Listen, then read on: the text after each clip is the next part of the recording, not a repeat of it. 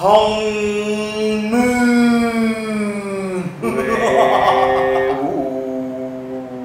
ดูหล่อนเหลือเกินนะอยู่กับผมแค่มันคนครับผมแล้วผมเนี่ยดีเจเก่งกี้ครับผมดีเจที่หน้าตาดีแต่หน้าตาแย่เอ้ยตัวเราจะดีหรือแย่มันดีแต่มันแย่แต่ก็ยังดียังยังดีมาก่อนก็โอเคก็โอเคถือว่าผ่านถือว่าผ่านโอเคพี่วันนี้ยังมีเออประเด็นที่น่าสนใจก็คือ เป็นจริงไม่ใช่ประเด็นใหม่ เป็นประเด็นเก่าแต่ผมว่าอยากจะพูดอีกสักรอบหนึ่งนะฮะเพราะว่าประเด็นเนี้ยมันมันเซนซิทีฟมากเลยอะ คือประเด็นของกรรมตามสนองกรรมตามใครกรรมตามสนองคืออะไรไปไหม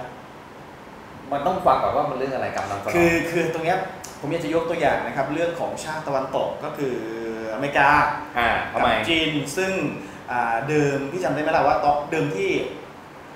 ตโคอนโรที่นาตอนที่มันยังใหม่เป็นโคโรนาที่ยังไม่มีชื่อนะอืมที่ยังไม่มีชื่อเป็นโควิด -19 นะอ่าเกิดที่อู่ฮั่นแล้วพอเกิดเรื่องเสร็จปุ๊บเนี่ย อเมริกาโอ้โหโจมตี จีนใหญ่เลยว่า คุณต้องมีมาตรการในการจัดการคุณต้องเปิดเผยตัวเลขผู้ติดเชื้อว่าเท่าไหร่เขาไปที่ไหนอะไรยังไงบ้างมันไปทำข่มเขาไปข่มไปกดไปดันเหยียดถูกต้องอันเนี้ยอันเนี้ยใครจะด่าก็ด่าแต่ผมรู้สึกว่าเฮ้ยมันเป็นสิ่งที่ไม่ถูก แล้วอเมริกาก็เป็นชาติแรกเลยที่ส่งเครื่องบินมารับคนที่อู่ฮั่นเนี่ยคนอเมริกันที่อู่ฮั่นเนี่ยเดินทางกลับประเทศไปเลย อืมอืมแล้วพี่เห็นไหมอะไรเกิดขึ้นก็ไอคนที่เข้ามารับนั่นแหละ อืมนั่นแหละ ก็ก็ก็เป็นตัวที่ทำให้ เป็นพาหะทำให้เออ เชื้อมันไปเผยแพร่มันไปติดที่อเมริกาเต็มไปหมดเลยตอนนี้คืออเมริกาก็ติด top ของโลกเหมือนกันในการในในจำนวนของผู้ที่ติดเชื้อแล้วก็ผู้ที่เสียชีวิต ก็แซงจีนไปเลย แซงจีนไปเลยเรียบร้อยแล้ว อืม ซึ่งปัจจุบันตอนนี้คือจีนกลับกลายเป็นเมืองสะอาด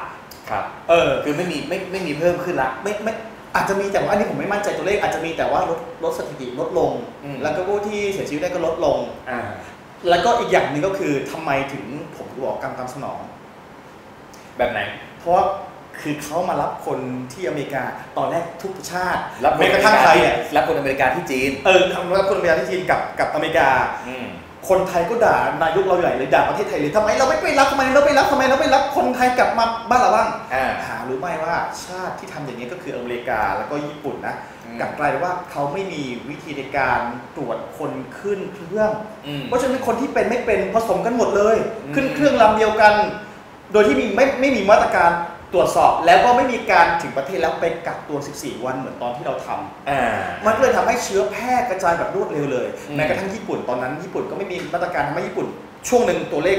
สูงขึ้น แต่สุดท้ายญี่ปุ่นก็เริ่มจะเอาอยู่แล้วคือคือเอคืออคือก็ตอบตรงๆว่า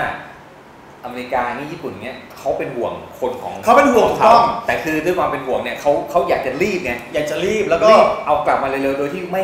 ตอนนั้นเนี่ยเขาก็ยังไม่ได้วิเคราะห์ มากมายไงว่ามันติดกันด้วยวิธีไหนก็ยังคิดไงว่ามันเป็นแค่ไข้ไข้ธรรมดานะถูกไม่ได้ติดกันง่ายแบบนี้เออนะด้วยความที่เขาไม่ได้ไต่ตรองไงมันครับก็เลยทำให้มันลามปามมันเลยเถิดไปอืมใช่ไหมอะแล้ว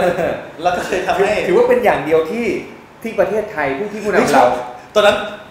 ขอบพระคุณตู่ที่วุฒิพัฒน์ผู้นำของท่านต่ำมันก็เลยทำให้ช่วงแรกเราไม่แห่ไปรับคน เป็นจากสิ่มางสิ่งเดียวที่ทำได้ถูกต้องถูกต้องนะแม้แม้จะแม้ว่าคนไทยจะด่าไปแล้วในช่วงนั้น แต่ว่าก็ต้องขอบพระคุณในสิ่งที่ท่านอ่าช้าช้าๆแบบนั้นแต่คือเราก็ไม่ได้อยากทอดทิ้งนะเออคือคืออ่าเดี๋ยวพูดเรื่องประเด็นประเด็นกับอเมริกานี่ก่อนนะก็ก็ก็ก็นี่แหละผมมีแค่เนี้ยที่อืมที่อยากจะนำเสนอ ทีนี้เนี่ยทีนี้เนี่ยไออนาคตถ้ามันจะต้องมีการปิดประเทศอย่างที่เราเคยพูดพูดไปเนี่ยก็คือคือปิดประเทศเนี่ยปิดไปเลย แต่ในการอืมในความรู้สึกของผมนะ ผมอยากให้มีการคัดกรองถ้าเกิดว่าถ้าเป็นคนไทยเนี่ย อยากจะให้เข้ามาได้ ก็ก็เข้าเข้ามาแต่ว่าแต่ก็ต้องตรวจด้วยกักตัวแต่อืมแต่ทางที่นะพี่อืมถ้าคัดก็ต้องคัดเลยอืมห้ามคนในออกห้ามคนนอกเข้า แต่ว่าคนภายในประเทศยังสามารถเดินทางไปหากันได้อยู่ถ้าจำเป็นถ้ามีธุระจำเป็นจริงๆนะอืมหมายถึงว่าการเดินทางในภายในประเทศเราอ่าแต่เครื่องบินจากเราไปต่างประเทศจากต่างประเทศกลับมาหาเราเนี่ยต้องคัดต้องคัดจริงจังเพราะว่าเพราะว่าบางทีคนไทยเนี่ย อืมอย่างถ้าคนไทยมันอยู่ในยุโรปอยู่ในอืมอืมในอิตาลีอะไรพวกเนี้ยนะบางทีเขาก็อยากกลับบางทีเขาก็โอ้โหคือที่นั่นมันไม่ไหวแล้วไงเขาก็อยากจะกลับ แต่เหตุการณ์ที่คนอืมสิ่งที่คนทำก็คือต้องอยู่กับบ้าน ถ้าไม่จำเป็นหรือไม่เวลาจะหิวหรือว่าจะกินอะไรก็สั่งเดลิเวอรี่มาส่งเอาแล้วกันอืมนะครับเพราะเดี๋ยวนี้ก็มีบริการกันเยอะแยะมากมายแล้วก็อีกอชีย่างวิตหจะนึ่งอยู่ลำบากหน่อยพี่ได้เคยได้ยินคำนี้ไหมไม่เคยเขาเรียกว่าเรียกเรียกว่าอะไรนะภูมิคุ้มกันกับคำว่าตายหมู่ เออซึ่งมันเกิดขึ้นกับชาติชาติฝั่งยุโรปแล้วว่าเฮ้ยในเมื่อมันเอาไม่อยู่แล้ว ก็ปล่อยให้มันติดกันทั้งประเทศมันจะได้มีภูมิคุ้มกันจะได้แข็งแรงอ๋อเออเคยเอเคอยเคยเหมือนกับว่าเขาในเมื่อมันเอาไม่อยู่แล้ว เหมือนประเทศไหนนะที่เขาให้คนให้คนไปเป็นน่ะให้คนให้คนไปไปไปติดโคโรนาอันนี้ก็น่าจะพูดได้นะเพราะว่าผมโควิดก็อ่าดูมาจากข่าวทีก็คืออังกฤษอังกฤษใช่ไหมว่าเอาไม่อยู่แล้วอะงั้นก็ให้มันติดติดกันไปเลยคือมันจะได้มีภูมิคุ้มกันป้องกันตัวเอง คือถ้าใครเป็นแล้ว แล้วมันไม่ไม่เป็นไรไม่ตายเออ แสดงว่าไอ้คนนั้นเจ๋งจริงก็ร่างกายต้านทานได้จริง ก็สก็คือบางคนติดก็ไม่ใช่ว่าจะตาย เพราะถ้าเกิดว่าร่างกายเราแข็งแรง อืมเรามีวิธีในการรักษาที่ถูกต้องมันก็อ่าอาจจะไม่ตายก็ได้ไงอ่าแต่สำหรับคนที่ร่างกายอ่อนแอโดยเฉพาะอิตาลีที่ที่ตายกันเยอะเพราะว่าส่วนใหญ่เป็นมีโรคผู้สูงอยู่แล้วอายุใช่ร่างกายรู้อยู่แล้ว ร่างกายไม่ค่อยแข็งแรงมันก็ทำให้อัตราส่วนในการตายมันเยอะ อัตราตายมีความในเออ อัตราการตายสูงเอาไหมล่ะ สร้างภูมิคุ้มกันทั่วทั่วประเทศก็ติดกันให้หมดอะไม่ต้องเป็นคุมหมดแล้วขยับไปไหนก็ไป ไม่ต้องผมนะผมผมไม่แข็งแรงผมไม่แข็งแรงบอกเลย คุณไม่แข็งเออแข็งอยู่อ๋อแล้วก็แรงด้วยในบางครั้งอ่าแต่ว่าถ้าพูดถึงว่าอาจจะยังไม่แข็งแรงพอที่จะร่างกายมันจะไปต่อสู้กับโควิดได้เออใช่ไหมก็เอาไม่ขนาดนั้นก็ก็เอาเป็นว่าตกลงจะจะภูมิคุ้มกันหรือจะตายหมู่ เอาเอาเอาคุ้มกันดีกว่าเหรอ เหมือนกันพี่ พี่งงอะไรวะเนี่ยฮะภูมิคุ้มกันก็คือต้องการให้คนติดไปเยอะมันจะได้มีภูมิคุ้มกันสุดท้ายแล้วไอ้แบบเนี้ยมันคือตายหมู่ก็คือมันเรียกว่าตามกันไปไปควบคู่กันคุ้มกันกับตายหมู่ถูกต้องมันก็คืออันเดียวกันเอาเพราะฉะนั้นจะเอาไหมเอารอรอยาดีกว่า จริงๆนะผมว่านะ ในความคิดของผมนะ ผมไม่ได้แช่งนะเออความคิดของผมเนี่ยคือโควิดเนี่ยเราป้องกันไม่ได้ แต่เราจะหายได้จากการที่เขาคิดค้นยามารักษาแค่นั้นเองความคิดป้องผมกันได้สิถ้าเรารู้จักระมัดระวังตัว แต่ว่าอัตก็ราเสี่ยงมันคือก็ถ้ามันได้ก็ดี แต่นี่ความคิดของผมเองไงผมคิดว่ามัน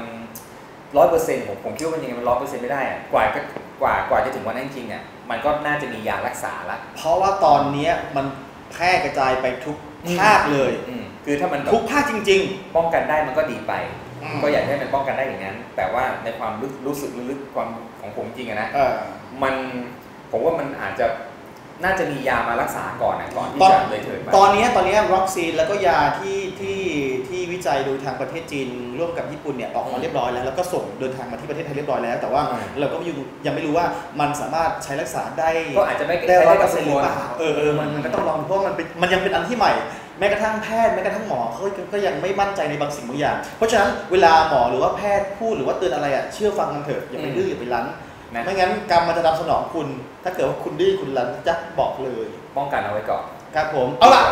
ก็ฝากเท่านี้นะสำหรับเรื่องของการตามสนอง แต่ว่าผมไม่ได้ไม่ได้ไม่ได้บัฟไม่ได้เคลมนะ แต่เราเล่าจากสิ่งที่เราเห็น แล้วก็เราฟังจากข่าวที่เราเสพจริงครับๆแล้วก็ที่สำคัญคืออย่าลืมเลิกกันนะครับไปไหนใส่หน้ากากอนามัยป้องกัน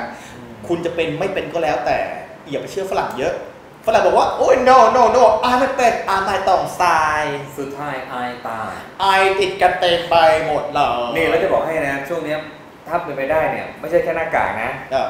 เจลแอลกอฮอล์ถ้าถ้ามีขวดเล็กๆพกไปด้วย จะดีมากเลยจ้ะล้างมือยิ่งบ่อยยิ่งดี ครับผมอ่าเอาละวันนี้ใครที่มาดูพวกเรานะครับ ก็ติดตามได้ใหม่ในครั้งต่อไป แต่ว่าอย่าลืมนะครับชื่นชอบก็ กดไลค์ กดแชร์ กดติดตาม subscribe แล้วก็กระดิ่งกุ้งกิ้งกุ้งกิ้งกุ้งกิ้งกุ้งกิ้งกุ้งกิ้งกุ้งกันไปด้วยแล้วกันเมื่อคลิปใหม่มีมันจะได้กระเด้งดึงเด้งดึงขึ้นมาครับผมอย่างคุณอย่างที่เรียกได้ว่าไม่ใช่เรียกเรียกอ๋อเหรอครับครับผมผมก็อยากจะทำตามพี่บ้างอ๋อแล้วผมก็ทำไม่เหมือนพี่จริงๆอะลาไปแล้วจ้ะบาย สวัสดีครับ